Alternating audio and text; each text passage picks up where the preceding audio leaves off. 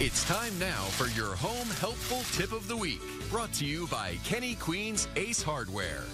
Hey, it's Mark with Kenny Queens, and we're back for another helpful tip of the week. This week, we're going to discuss prepping and painting your interior walls. And with us, we have Beth, our paint specialist. Hi.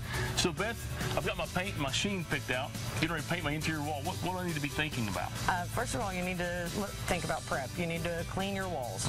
Um, a lot of residue can get on there from candle wax, uh, air fresheners, or even your heating. Okay. So you want to do that first, and then you want to prime. Okay. And then you're ready to paint.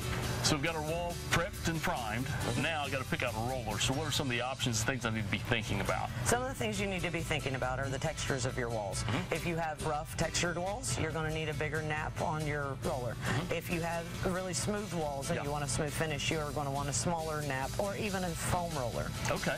So, I've got the roller picked out now, a brush to trim out with. I know there's a thousand different brushes out there. What, There are. There are tons of different types of um, angles. Mm-hmm. Um, you've got the flat brushes.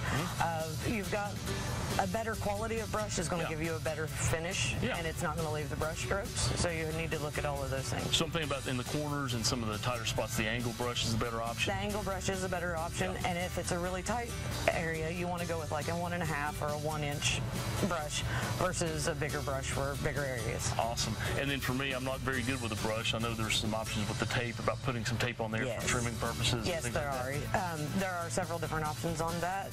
Most of them have an edge lock now. Okay. so it will give you a good clean finish on the edges. Awesome. Thanks so much for your help, Beth. Thank you. Thanks for joining us today. Remember, if you have any questions on what you've seen, you can stop in at any of our locations, give us a call, or visit us online. Just scan this QR code for more information. Remember, we're always here to help. We'll see you next week on First Look at 4.